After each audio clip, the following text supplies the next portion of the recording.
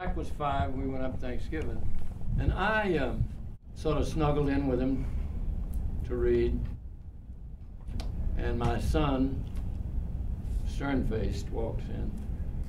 Jack, Dad, one story. Read one story. You understand, Dad? Read one story. Jack, you understand? Dad's going to read one story. Yes, we understood. But he says, Grand, Dad said you could read me one story, and you've read it. But you could tell me another story. so, what story do you want to hear? He said, I want to know about the day you got hit in Montgomery, Alabama, and got hurt. And I said, Jack, it's a story that is a short story. It's very brief. And it's a story with a happy ending, so I'm glad to tell you there was a time when there was some angry, hostile white people in Montgomery, Alabama, and there were some black people who wanted to ride the bus.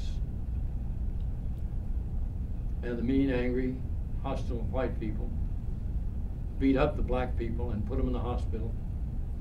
And they beat me up and put me in the hospital. But Jack, it's a story with a happy ending. They came out of the hospital.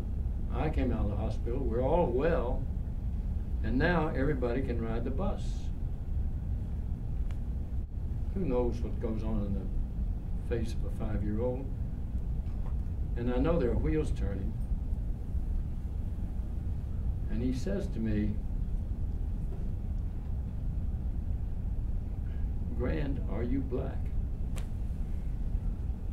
And it took my breath took my breath away. Grand, are you black? And I I think this child's colorblind. Thank God this child is not is not what I was and maybe not what his father was, but this child is colorblind. And I said, Jack, it really doesn't matter. I gave him a kiss, told him good night. When I got home, I wrote him a letter. And I said, Jack, you asked me to tell you a story about it, and I did. But in the end, I said, it really doesn't matter. And that was not true. Color still matters, Jack. Race still matters, Jack. Discrimination still lives, Jack. And I hope at 75 that you, who are five, will find that by the time you're my age, it really won't matter anymore.